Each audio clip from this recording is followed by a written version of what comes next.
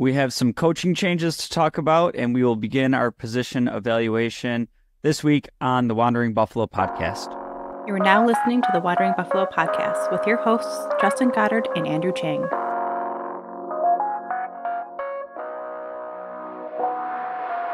Bills Mafia, welcome in, and thank you again for joining me on this week's episode of the Wandering Buffalo podcast. Uh, show brought to you by the Buffalo Fanbase Podcast Network. Um, we are brought to you by 26 Shirts. Been talking about 26 Shirts for quite some time now. If you haven't done so, um, check out what they got. Tons of cool designs, and you know it's always going towards a good cause. They're doing tons of good work in the community. Um, so make sure you check it out. Um, this is going to be kind of our first off-season uh, episode. Uh, apologize for missing last week. Kind of needed that little decompression, take a step away from from the team with the season ending, and just kind of reset the focus from the regular season, moving into the off season, and honestly, not not completely there yet. You know, with the Super Bowl still to be played and you know, it, it's still kind of feeling like football season. Um, but hey, seven, eight years ago, we would have been starting this process somewhere in like just after Thanksgiving. So, uh, grateful that you know it's the first week of February and and we're only crossing this bridge now. Um, a couple things happened since the season ended. Um, some coaching changes. Um, we did see Joe Brady lock down the um, full time offensive coordinator position, um, which was something that I was very excited for. Um, thought he did a great job to to finish out the season in a really tough spot, right? Taking over for Ken Dorsey, you know, what, six weeks into the season, seven weeks, um, and just kind of having to operate with somebody else's playbook and, and tinker as he went. Um, what I liked most about Joe Brady through throughout the remainder of the season. Uh, it I'm not even going to get into the X's and the O's of the play calling or anything like that. What I really liked about Joe Brady through the remainder of the season was just kind of his, his low recognition of the game, um, and just like having having timely play calls, and you know seeing in games where if the run game was working, he stayed committed to the run game. It wasn't this like need to pass. Um, you know, if we were just play after play running into a brick wall, um, wasn't afraid to pivot away from that. So I, I think overall, the flow and the feel for how the game was going was was the biggest piece that I felt was kind of different from Dorsey. Um, I feel like Dorsey had a bit of uh, I drew up these really good plays on paper and uh, planned on using them. So things aren't what we expected, but, we're going to do them anyways. Um, and we, we saw an immense difference in what the offense looked like. And the biggest thing for me was I heard a lot of talk before this hire of, you know, Josh Allen endorsed Joe Brady, and it was well, Josh Allen endorsed Ken Dorsey, and we saw how that went, and blah blah blah. I think this one, this one to me is a bit different. Um, I think there's a, a, level of maturity change in Josh Allen, uh, just with it not being a huge time difference, but knowing the difference between you know this is my buddy that I want to see get a job um, versus what the success actually was, and for how much Josh Allen and Dorsey were buddies and for how much, you know, they love each other as people. Uh, the biggest, most important change that I saw from Dorsey to Joe Brady was Allen looked like a completely different player. And I'm not just saying on the field, you know, with his throws, anything like that. He looked like he was having fun again. And there were so many instances in the beginning of the season where he just kind of looked melancholy and kind of humdrum and he was talking in post games about this low positive Aaron Rodgers sound and stuff and then you know we, we saw him on the sidelines throughout the season the you know obviously the viral clip going out there saying how he feels like he's back.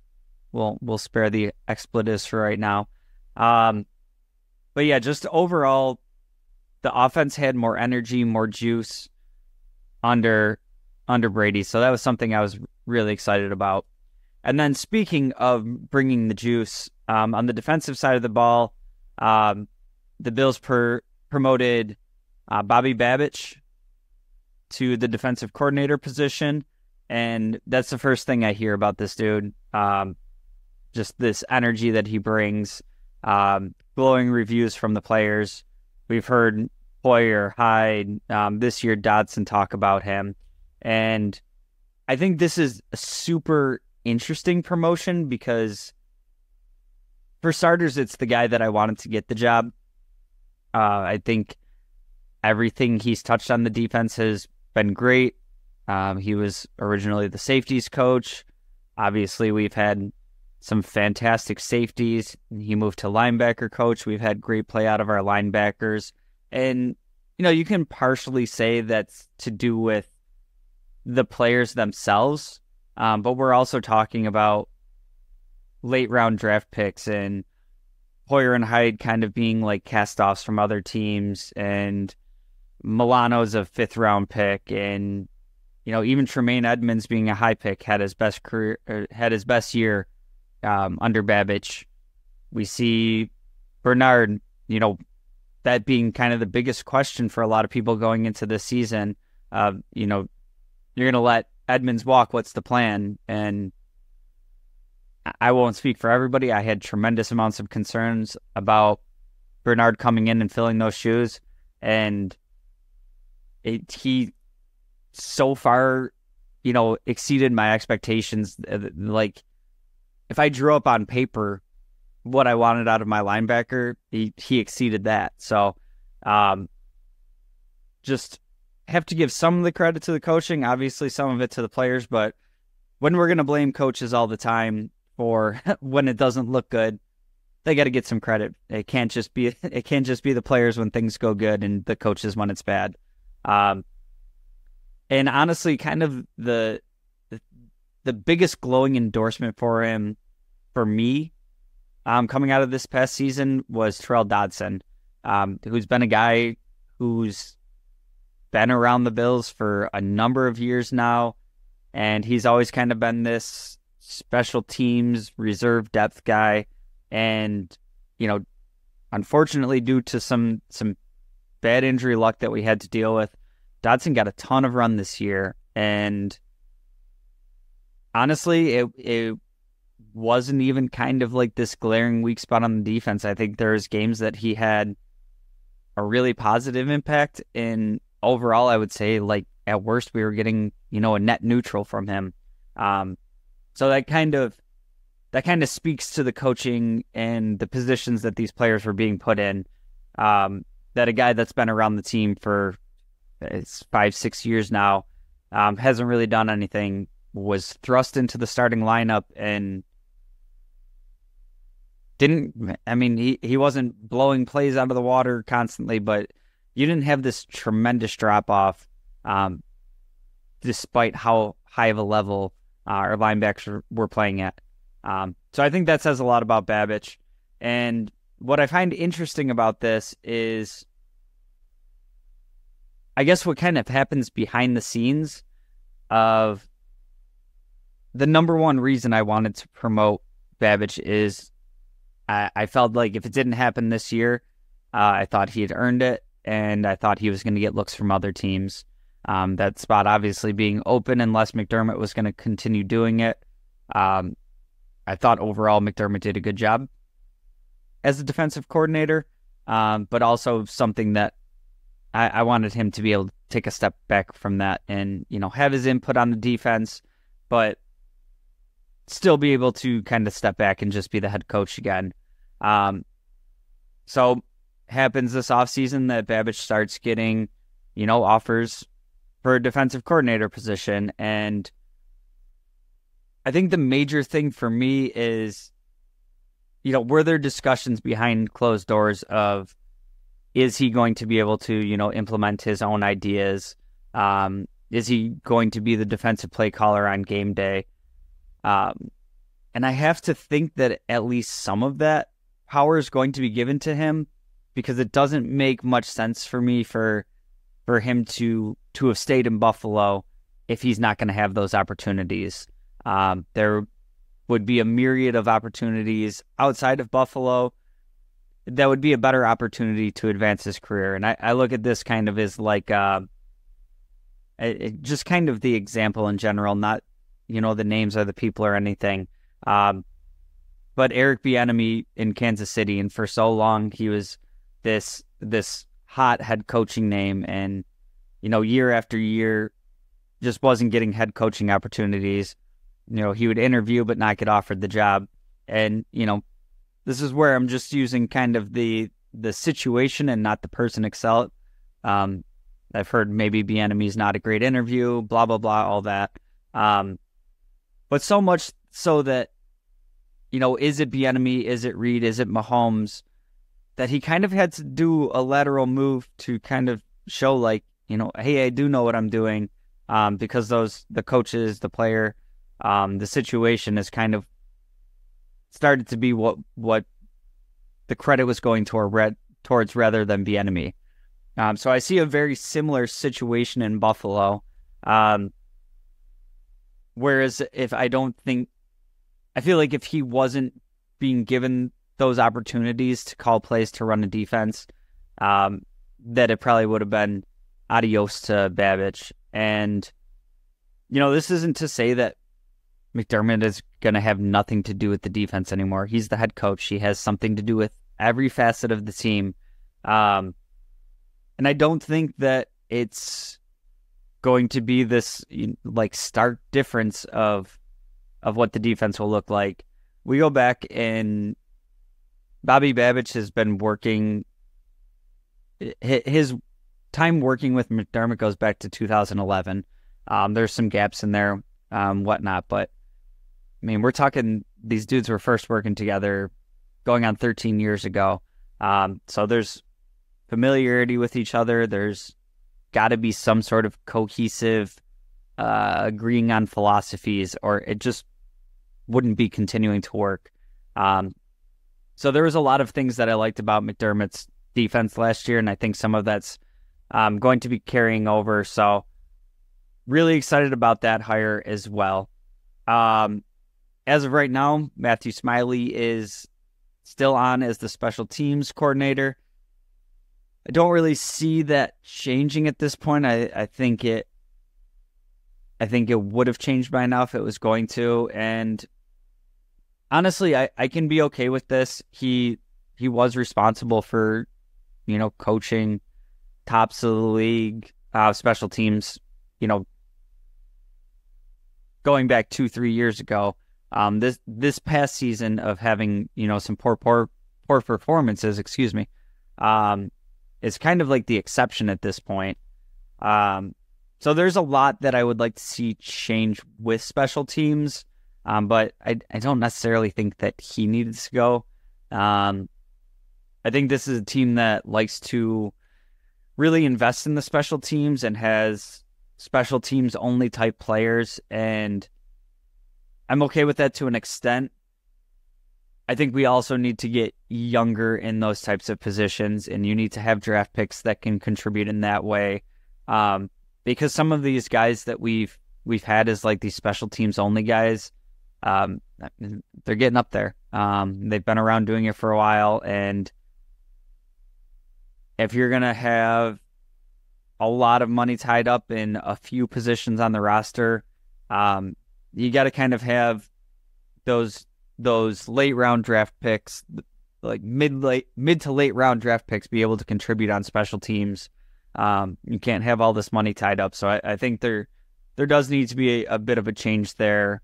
Um, as far as kind of the cast goes, I'm okay with Smiley being back. I wasn't really expecting him to be gone, um, just for how much like game day management stuff he does with McDermott. He's kind of the right man, right hand man. Um, whether or not he deserved to go for that alone, that's a whole nother debate. Um, but I didn't really expect him to be gone, and, and it looks like he's going to stick around. Um, I think he got a lot of things thrown his way for some things that were kind of out of his control at the end of the year. Um, I, I think Tyler Bass got you know kind of a case of the yips at the worst time of the season. Um, they had ended up being you know by far his worst season as a pro. Um, and this is one of the things where, where, like I said, we we love to blame the coaches when things are going poorly, and it's the players when they're great. I think this is kind of something where we we got to put some of it on the player here as well, and hopefully we can get that whatever was going on um, out of Bass's system because you know he's he's got a contract that he just signed and he's got some guaranteed money going forward. So I'd imagine that he's going to be back next season. So you know maybe maybe this is the case for you know Matthew Smiley keeping his job. Maybe he's got something up his sleeves to uh, help Tyler Bass get right. Um, but yeah, that's the coaching changes changes for now. Um, there were some more positional moves uh, made along the way. We're going to get into that more as we kind of explore the position groups um, and get kind of more in depth with it there. Um, but that's your changes at offensive coordinator uh, and defensive coordinator. I'm going to take a quick break. When I come back, we want to start the positional review um, before we head into free agency. Stick around. Hey, this is Brother Bill. Now back to the show. Welcome back in, and thank you again for joining me on this week's episode of the Wandering Buffalo podcast. If you've made it this far in the show, I do ask you do me a huge favor um, like, share, subscribe, text a friend about a show you're listening to. Um, just help spread the word a little bit. Makes it a lot easier to keep these episodes out um, every week. Um, and a little programming note here. We are going to be kind of transitioning into Wednesday releases, um, just logistically being uh, a little bit easier for all the pieces involved. Um, if you're subscribed, it won't matter because you're still going to get the notification. If you're not subscribed, go ahead and hit that button so so you're going to get the update whenever we're dropping an episode. Um, so I want to kind of dive into just a little bit of a positional review. This kind of just broad strokes. Um, before we head into free agency, just kind of seeing where we stand at each position, um, what I personally would like to see changed, um, things of that nature. Um, I'm going to keep this, like I said, broad stroked. I'm not going to bore everybody with the stats, year over year comparisons. Um, we all watched the season. We all know like what we saw out there. Um, kind of just going over what these players look like going forward, contract situations, and things of that nature. Um, they're going to break this into um, different position groups per week, um, just as there's kind of this slow part of the year for us. Um, I wanted to start out week one with the quarterback and running back.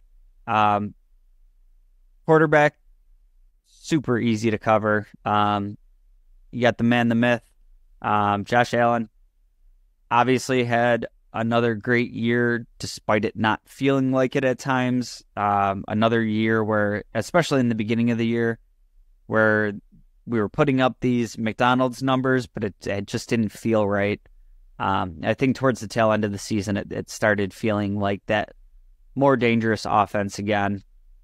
Um, obviously, he's not going anywhere. We love that. He's been great. I'll sign up for another 10 years of that. Um, backup quarterback was Kyle Allen.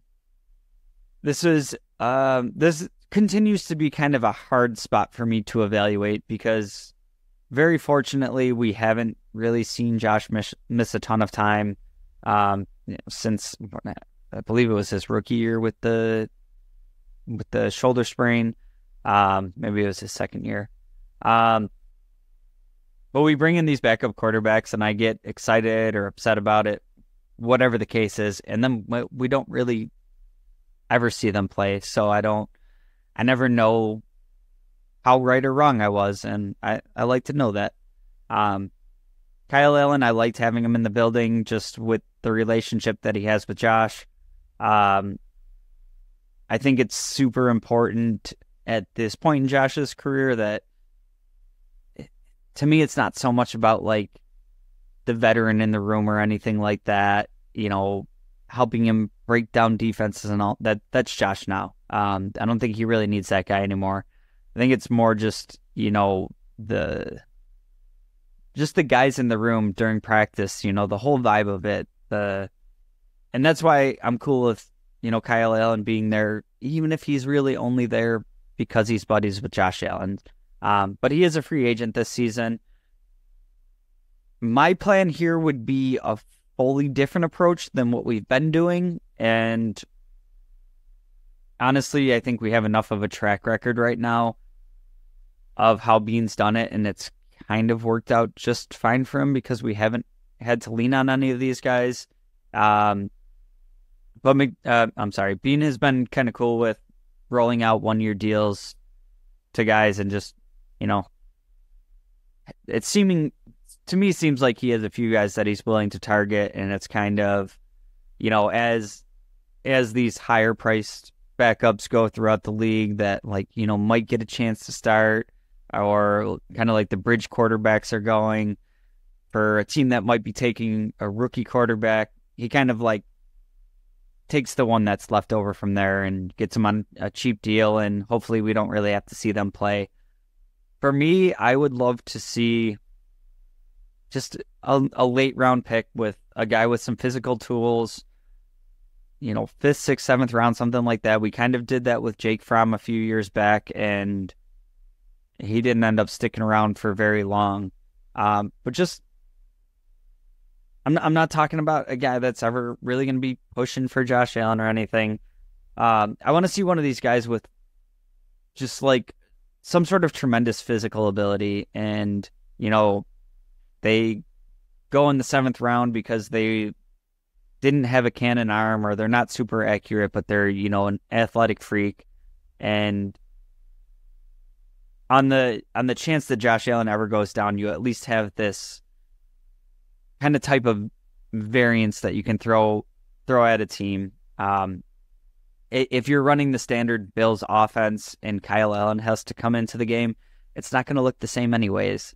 Um, so eh, for me, I would love to see you know a curveball be in play if if it comes down to it, and um, I think about a guy like um, oh, his name's slipping me right now. He's the the backup in Baltimore, um, where a couple of years ago Lamar goes down and he comes into the game. I think it was Huntley. Um, and Lamar goes down, and it's all of a sudden like, oh, hey, they're about to be cooked. And then dude comes in, he's this physical freak, and, um, you know, didn't quite look the same as what Lamar was doing out there, but was able to move the offense in a different way. And, and that's kind of what I'm looking for out of this position. And then it's it also has the benefit of this is this can become a position that we don't have to talk about every year of do we have to make a change here, whatever. I don't need the guy to be a superstar in the making. Just give me a, a backup quarterback on a rookie deal that can be around Allen, learning from Allen, learning the system, you know, just always preparing to to go in if they have to and and just give me some continuity in that room if you want to keep a guy like Kyle Allen, you know, it was Matt Barkley for a while, you know, somebody to just be in the room with Josh, that's fine. Um, give me it as his quarterbacks coach. Give me it as the third stringer that's going to be on the practice squad all year and probably won't ever see them, but they get to be around Josh in the building and in the meeting rooms, all that. Um, for a guy that has the possibility of playing at some point, um, I would love this to be something where we don't have to have whatever three, four million dollars tied up in the backup quarterback. Like I said, kind of a late round flyer on somebody with some tools that you can have in the building for a while. Um, so we'll see what happens there. Um, and then the running back position. This one is going to be it's going to be an interesting group for me because um, I think we're going to see a, a, ton of shakeup here. Um, obviously, we saw James Cook really emerge this year. He was absolutely tremendous, super fun to watch. Um, the only other guy under contract right now is Nyheim Hines. Obviously, missed all of last year with the knee injury from free jet ski accident. I think he's got a very interesting situation here because I, I do see a path that he could make the roster, um, but he's carrying a pretty hefty price tag, and something there would have to change for me. Now, what I do find interesting here is for as awesome as James Cook was this year, the biggest the biggest thing that I saw out of him that's concerning is you know, he had three, four drops that would have been like walk in touchdowns, um, some of them in bigger moments than others. Um, what did we originally bring Hines in for and never really use him for? Being a pass catching back. Um, so I, I think the path to the roster for me, since he would kind of have such a specialized role on offense, we we saw James Cook kind of have the ability to be this you know bell cow back for what our system looks like.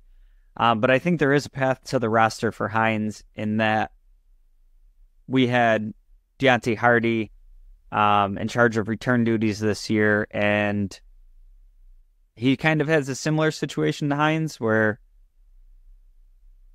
I think he was effective on special teams, but didn't really provide much on the on the offensive side of the ball, and he also has a pretty decent sized contract um, that we can get out of pretty pretty easily. Um, so we'll get into that more as we move into the receivers. But for me, I'm okay with one of them staying. I honestly don't really care which. I think they were both electric in the special teams. Um, but I don't see a path to keeping both of those guys on the roster. Um, and then guys that were on the team and are now free agents. We had Latavius Murray, um, had Damien Harris. We never really got to see much of this year. Obviously, had a, a pretty scary looking injury. Um, and then we had Leonard Fournette stop by for a cup of coffee and um, somebody that was signed to a futures deal. He was here in the preseason was Darrynton Evans, and he's a guy that I'm excited to have on the practice squad. Um, but I don't think he's I don't think he's like the next answer on the 53 man roster. I would have interest in bringing back Ty Johnson. Um, I thought he played really well in moments this year, and he's a dude I was really excited to to add. I was kind of surprised that the Jets just kind of let him walk and you know their their move was to replace him with Dalvin Cook, who never really got any run. And you know, I know they kind of had a loaded room with Breece Hall and Michael Carter was there, and kind of a numbers game. But I always kind of liked Ty Johnson when he was with the Jets playing against the Bills, and I was excited to bring him in. Uh, it kind of took him him a while to get opportunities on this team, but when he did, I thought he ran super hard you know, a very different style running back than than James Cook is. But I thought he did a good job catching some passes. I thought he was a really effective runner in spots. And, you know, looking at some stat sheets, you're not going to, he's not setting any records. Um, but I thought the usage that we got from him, he was a very valuable pickup. Um, as far as some of the other guys go, I said, I, I would love to have Ty Johnson back at the right number. Um, I don't think he's going to be demanding any huge contracts out there. Um, so I would love to see him back in the building. Um, Latavius Murray was tremendous for about half a season. Um, towards the end of the season, you could tell he was. It looked like he was running out of juice. He also had some drop passes.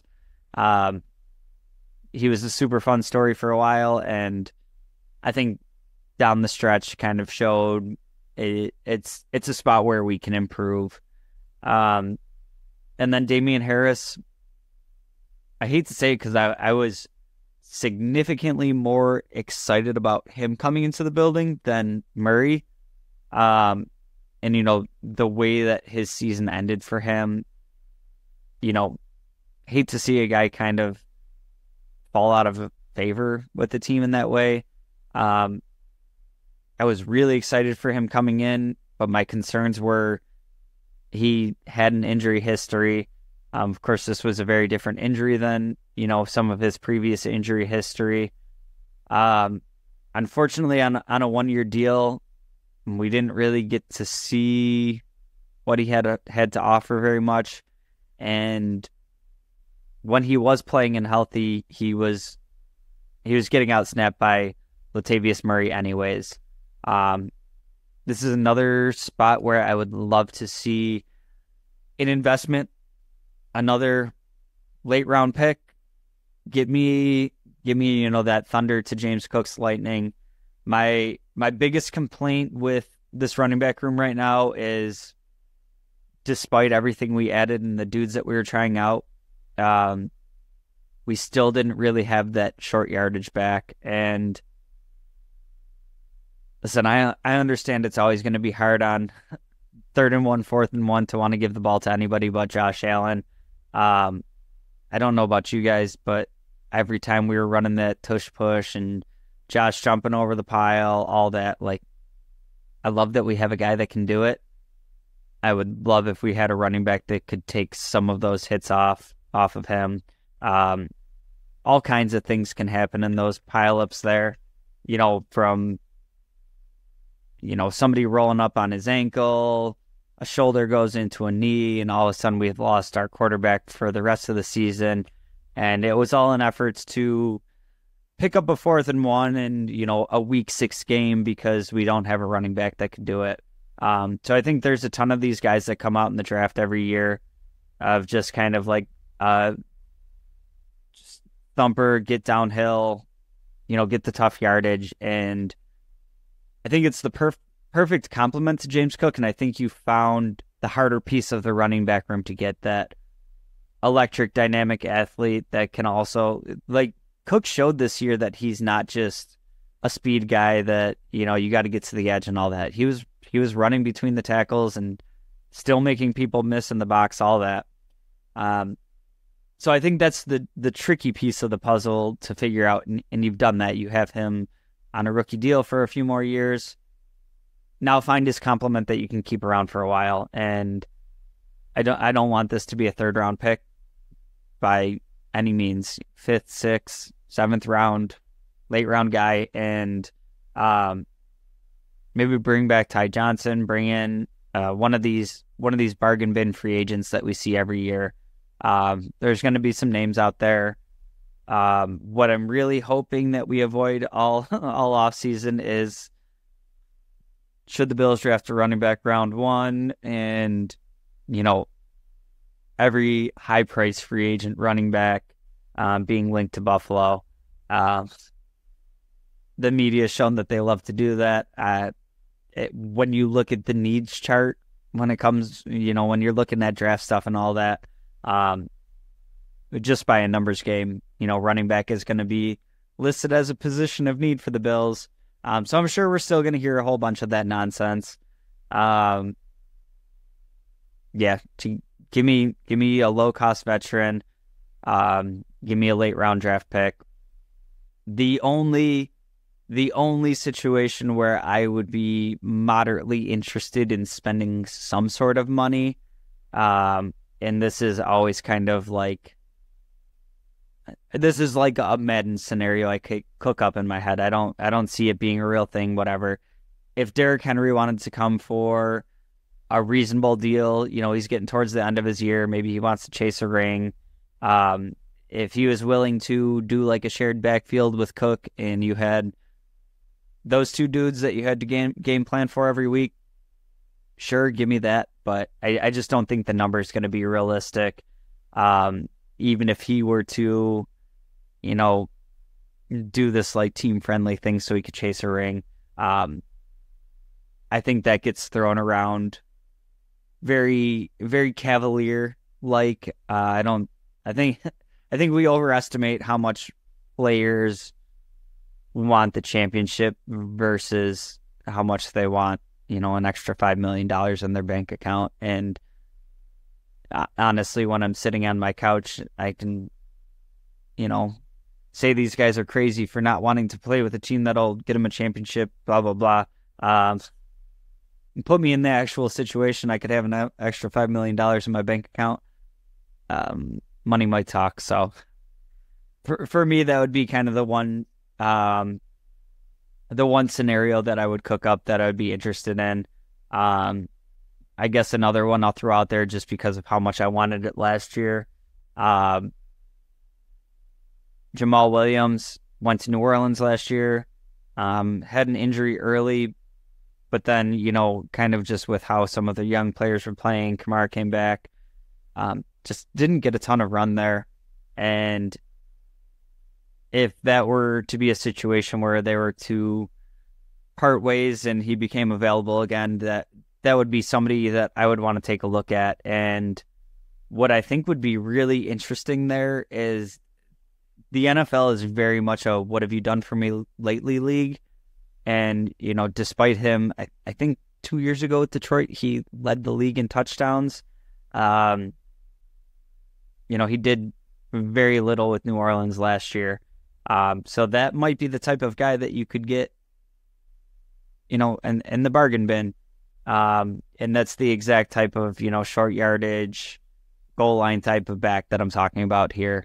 Um, he will always remain on my wish list. I absolutely love him as a player. He's a great interview. He seems super fun, and I will always want him on my team. Um, so that one, that one's probably a little bit more out there. Um, realistically, you know, give me kind of a, a minimum investment, bolster up that room, get me somebody that can consistently convert third and one, fourth and one.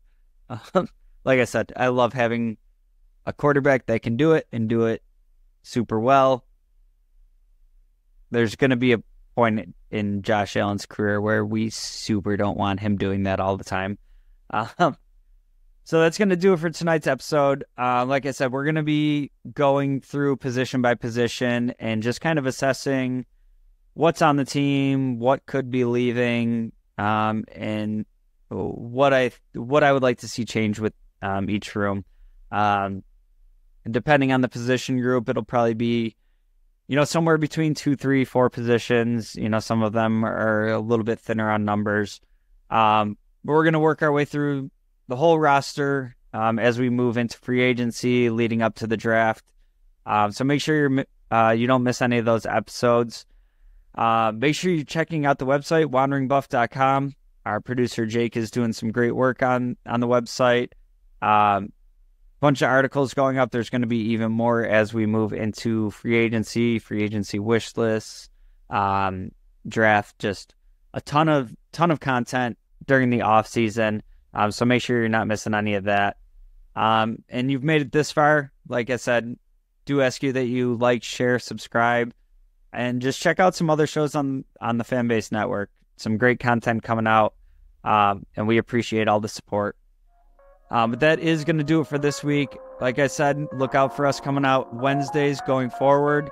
And as always, go Bills.